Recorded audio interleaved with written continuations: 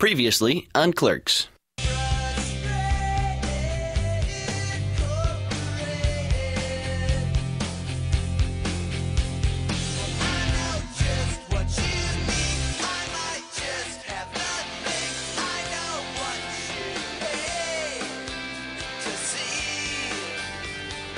All right. Well, let's make sure that this time, whatever we do, this never happens again.